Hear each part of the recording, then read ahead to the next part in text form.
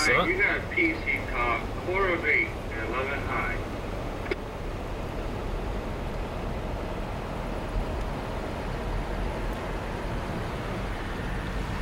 Sunrise on the 5th of December, 1991. The infamous December 5.